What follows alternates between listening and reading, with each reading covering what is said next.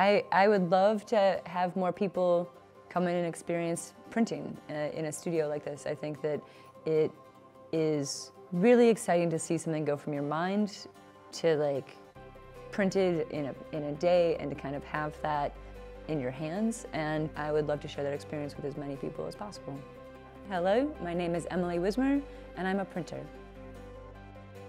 I run a studio called Lady Pilot Letterpress here at Liberty. I've been running Lady Pilot for about 10 years. I've been at Liberty for around six. I teach letterpress, primarily handset type, and I run a business selling greeting cards around the country and internationally.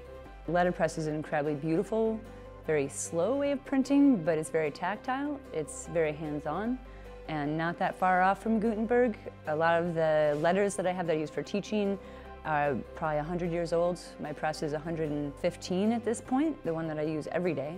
So I feel like when I print and when I bring people into the studio, it's kind of connecting to a history that you don't really get from a computer. Letterpress was kind of the birth of literacy uh, across the world. It allowed for books to be affordable.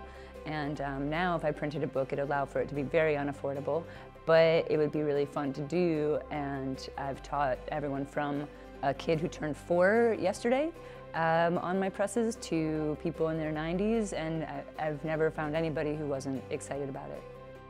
My most common products are greeting cards. I have about 300 different greeting cards for most occasions, but especially if they are snarky occasions. My process goes from designing to having plates made, to putting them on the press, and then the, every single card is hand-fed into that press for every color that's done.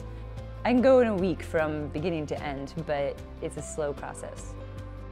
I would say my work is therapeutic, if only because it helps me get a uh, inappropriate sense of humor out in a constructive way, but also I think that being physical in the world and being physical in your art is really therapeutic. It's a whole body connection to something versus just kind of, I use computers for my design work, but I don't find that they give me that level of involvement. When I use the Chandler and Price, the press is motorized, but while the flywheel spins on one side, I am hand feeding it.